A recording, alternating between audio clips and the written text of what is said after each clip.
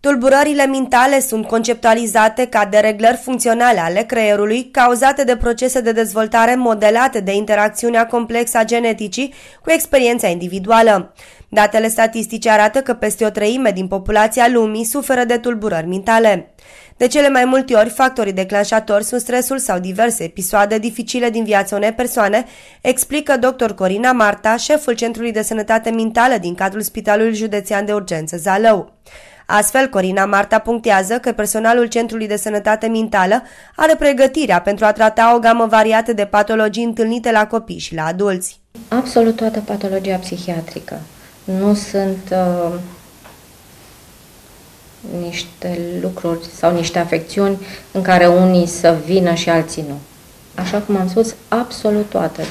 De la tulburările anxioase, atacuri de panică, fobii, depresii, psihoze, demențe, tulburări de comportament, întârzieri mentale, absolut toată categoria de boli psihiatrice au adresabilitate în cadrul centrului.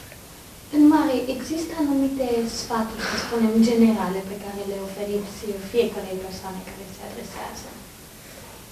În funcție de nevoile fiecarei persoane, el primește îndrumări, recomandări, începând din uh, momentul în care intră în acest centru, în funcție de nevoi și de nivel, de la asistenta medicală, de la medic și de la psiholog. De asemenea, șeful Centrului de Sănătate Mentală evidențiază rolul extrem de important al consultației psihologice în stabilirea diagnosticului, prescrierea tratamentului și coordonarea serviciilor de psihoterapie. Că această consiliere psihologică poate ajuta la o mai bună conștientizare a situației și la o aderență crescută la tratament.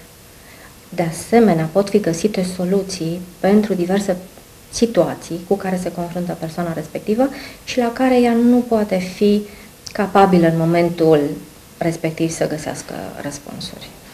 De cele mai multe ori, boala psihică este privită de către societate ca o afecțiune rușinoasă, fapt pentru care persoanele care se confruntă cu diverse probleme aleg să-și ascundă tulburările și să nu apeleze la ajutor specializat. Însă, la fel ca pentru oricare altă boală, specialiștii avertizează că și în cazul bolilor psihice, Neprezentarea la medic duce la agravarea stării. În plus, maladia psihică trebuie privită ca o boală, iar cel afectat să fie îngrijit, tratat și privit ca un individ cu drepturi egale cu ceilalți membri ai societății.